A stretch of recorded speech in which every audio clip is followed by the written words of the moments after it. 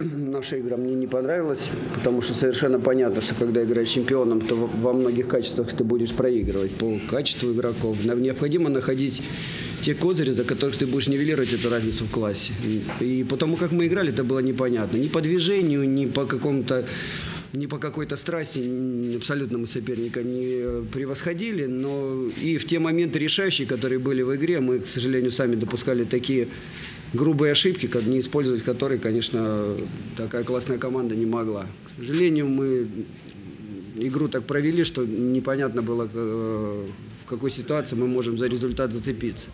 Тот момент, когда мы вроде бы пытались за него цепляться, допускали грубейшие ошибки, причем допускали их сами, не то, что нас как-то очень заставляли. Поэтому тот футбол, который мне хотелось было видеть, он, к сожалению, сегодня был далек от того, что мы показали. Не очень мне понравилась ни наша игра в обороне, ни э, то, как мяч у нас держался. Поэтому результат закономерен. На сегодняшний день постараемся все-таки, чтобы завтра была игра более содержательной.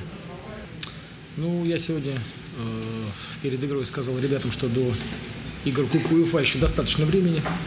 Есть игры внутреннего чемпионата, и надо сейчас выходить, играть э, максимально, то есть показывая свой лучший футбол. Это касается каждого футболиста и, и в целом команды.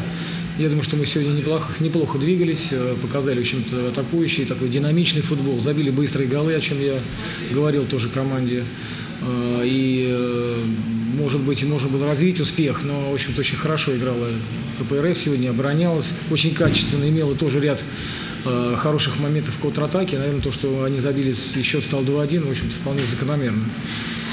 Вот. Во втором тайме не думаю, что сильно поменялся рисунок игры, хотя начало мне не понравилось. Это касается именно начала матча, когда, наверное, минуты 3-4 КПРФ выглядел очень, очень э, быстро и создавала моменты. И мы как будто бы уже начали играть на сохранение результата, но потом команда вернула как говорится, вернулась на площадку, и, наверное, все-таки все стало на свои места, и результат, я думаю, что в целом сегодня закономерен.